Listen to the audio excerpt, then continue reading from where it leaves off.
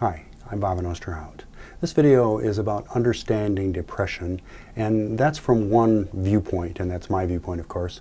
Uh, I've uh, been treating people with depression for over 36 years, and I, I found some, some common things that work consistently, and that's what I'm going to, uh, to describe and, and to share with you.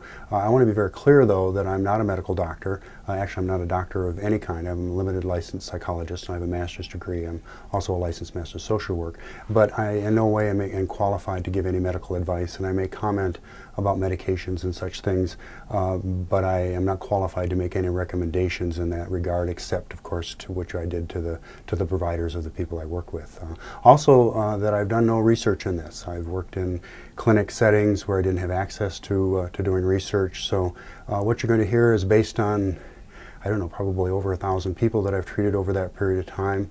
And uh, what worked has been very consistent in my perception. Okay, so it isn't something that I've tested or tried with other places. Uh, so um, take that uh, as, a, as kind of uh, part of the picture. Okay, this isn't, a, there's no absolute truth here, but this is what works and how it works from my perspective and from my experience. Okay, uh, the first thing is, is I expect people, based on my experience, to fully recover from every form of depression when they come to my office. Um, that's just, uh, I see people recover and haven't seen people not recover when they follow through on recommendations, and, and that's been a, a consistent experience. Uh, first, a little bit about depression. Um, it's a much misunderstood disorder. Uh, it's not a, a simple identifiable condition like ulcer or strep throat or something like that. I mean, ulcer is a diagnosis that's the cause of the symptoms like a, you know, upset stomach and nausea and things like that. And strep throat would be a diagnosis that's the cause of your throat hurting, okay? But the symptom is your throat hurting. Now, depression is simply the name that's given to a cluster of symptoms, okay? And there's about 15 or so different symptoms of depression. And if you have a certain number of them, then you get a certain diagnosis. And if you have a different number, you get another diagnosis. So the diagnosis is dependent on which symptoms and how many you have. Um, and so one person with depression could have a totally different set of symptoms than another person with depression. Okay? So, and there's also a lot of uh, speculation about causes of depression. Uh, there are some people say it's, it's totally a biochemical condition, but uh, there really isn't strong evidence to, to uh, substantiate that because they're only looking at the bio biochemical perspective. And there is a, uh, biochemical activity in the body for most everything we do. Uh, so you could say there's biochemical activity for hunger, and it's only a biochemical condition because you can measure the difference when I'm hungry and when I'm not uh, in the chemicals in your body. But the fact is, if I don't eat, I get hungry. So there are things I can do to manage that. And I think there are things that we can do to manage depression, but we need to know that it, understand, it, it involves body, mind, and emotion, and all three are interacting uh, in the symptoms of depression. Okay. Um, I won't comment uh, much about medication except for the fact that um, the people I saw were consistently able to get off medication as they made progress uh, if their provider supported that. Now, there are some providers who believe that depression is a lifelong disorder and they may have kept their, their patients on depression. But those who did go off medication uh, did not relapse and, and seem to do pretty well. I also uh, worked with a lot of people who um, never were on medication and were able to fully recover and deal with it. From my experience, and the only times I've recommended medication and to you know the that the person talked to their provider about it or discussed it myself with their provider or psychiatrist uh, was when they seemed to be in an overwhelming situation and the depression was really interfering with their able, ability to function. So for, for example, a mother who had three children and a full-time job and, and was really having difficulty functioning, the medication seemed to work a, a useful purpose in, in helping her to get through the day. Um, so uh, that, that basically is an issue to be resolved between you and your doctor, and I encourage you to ask a lot of questions about that. Uh, um, from my experience, uh, medications seem to, uh, to slow the recovery process but lessen the pain. Okay, so there's some benefit there, but there's also some costs and some risks, and you want to be well aware of that. Um, I look at depression and understand it as a state of mental, physical, and emotional exhaustion okay? It, they're problems with energy, Okay. Now, there can be medical reasons that will cause all of the symptoms of depression, and it's good to get those checked out first. You want to rule those out because uh, I've been in situations where I've tried to treat people, treat people with that, and it, it, wasn't until I got them in to see their physician and the other cause was identified that uh, they were able to recover. One of the ex examples is, is a thyroid condition that can cause uh, all of the problems that you'll see in depression, and many people are misdiagnosed. Uh, but once the thyroid is put back into balance or they deal with those issues, then the symptoms disappear. It also can uh, result of a side effect of medication or a sleep disorder, and once those are corrected, then, then the symptoms disappear. So uh, I'm talking about uh, the common features of depression uh, that uh, don't have another identifiable physical treatable cause. Okay, and those features are, are shallow breathing, patterns of tension, a negative way of looking at life, okay, recycling what I call conceptual fear, resisting pain and emotion, and an inability to cry deeply without resisting it. Okay, and I'll talk briefly about each one of these. Okay, shallow breathing almost universally uh, people who are depressed breathe in the upper part of their lungs. Okay, there's an incredible amount of tension, um, and they're, they're holding that in, and their breath is shallow, so they're not getting much oxygen. And that alone can explain some of the symptoms because our body thrives on oxygen. Our blood needs to bring fresh oxygen through every part of our body for us to function adequately. And we're getting a small portion of oxygen, and we're actually working harder to get it than if we're using our whole lungs to breathe. Okay, so that's one of the reasons why natural rhythmic breathing or diaphragmatic breathing is very important in the treatment of depression because you're just simply getting more energy and you're getting it much more efficiently and your body doesn't work so hard to get it. The other thing that happens is when you breathe shallow, the carbon dioxide that you breathe out sinks to the bottom of your lungs, okay? And that's heavier than air, so that's why it does that. So you're recycling your exhale, okay? You're not getting fresh energy in and you're working, doing the same amount of work and just not getting anything for it. And, and that's not only depressing, but it leads to the symptoms of depression, okay?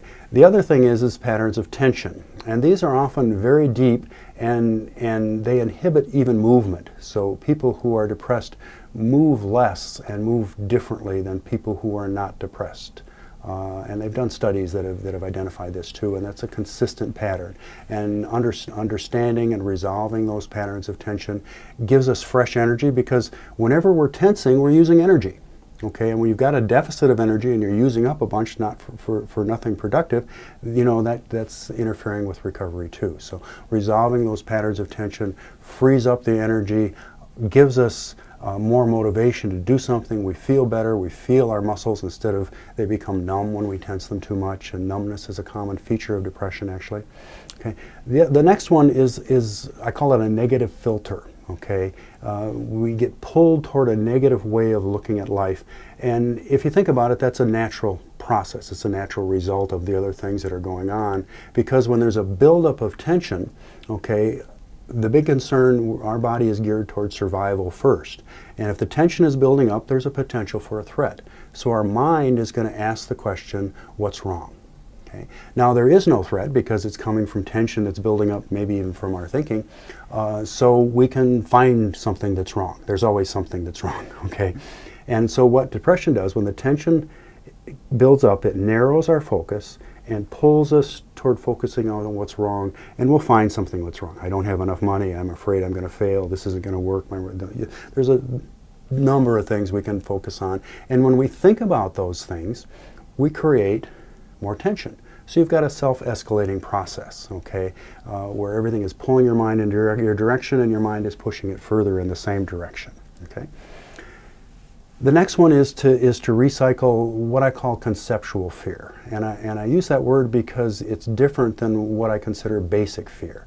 Uh, if a bear uh, is out of its pen and growling at me, I'm afraid, and so are you and everybody else, okay, unless they're a good friend of the bear and know I'm well, okay. So there's a natural fear in a, in a, a threatening situation that needs to run its course. It's simply a natural emotion, and the video on emotions will explain that in, in more detail how that works. Conceptual fear comes from our thoughts. Thinking about what could happen or maybe what I didn't do well enough or what could go wrong or a thousand different forms of ways that we can build up tension by thinking about fear. And the bottom line is conceptual fear serves no useful purpose.